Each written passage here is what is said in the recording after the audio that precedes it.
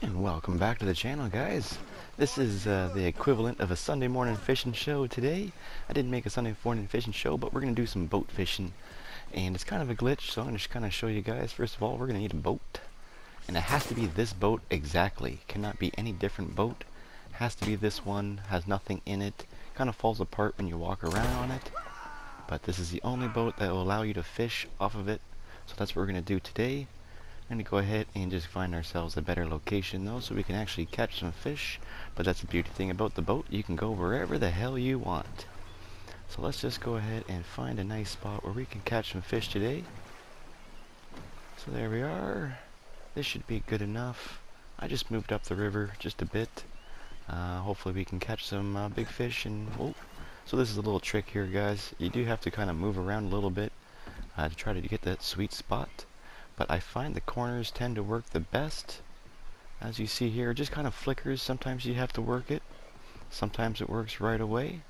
But as soon as you get the rod out, it usually does not go away, and you can fish as long as you want with it. And then you put it away, and you just have to do this again. But I am in the Kamikaze River, Kamikaze, wherever you want to call that. And uh, this river has some big fish, small fish. Uh, I'm just going to be going for some steelhead right now. And I've already got a catfish in the boat from earlier. Um, but that's the only thing I caught at that spot, so I didn't want to air that just because it was kind of low. Uh, but this spot here, we got a whole bunch of fishies. I'll bring a big one in the end at the end there, another catfish. Um, but when you guys do bring in these fish, um, because we are kind of glitching out the boat here a little bit, uh, you do have to spam the X button like crazy so you actually keep the fish in your hand. Otherwise you throw it back in the water and then it glitches back into the boat and uh, you usually just have to wait until it dies off in the boat and you can go and pick it up.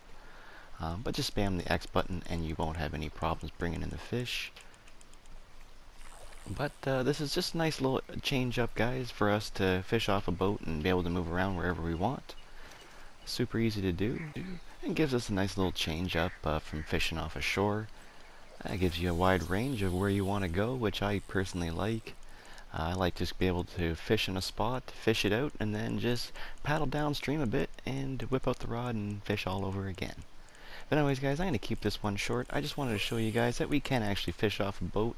It is still working around. It's been around for a little while now, but uh, I just thought I would share it once more. Uh, I do love fishing off the boat, so uh, hopefully you guys can uh, grab a boat and do some fishing as well. Just keep note, it has to be this boat exactly, otherwise it will not work and you'll be wasting your time. So just make sure you match the boat exactly in the video here. So I'm just going to bring in a few more fish here and then we'll call her quits. I'll also whip out the map just to kind of show you guys exactly where I am. Uh, just so you can get a good look. I'm just above the Blue Water Marsh. Just catching the steelhead there. But anyways guys, like I said, I hope this video helped you out at all. If it did, make sure you share, like, and subscribe. And I'll catch you on the next one.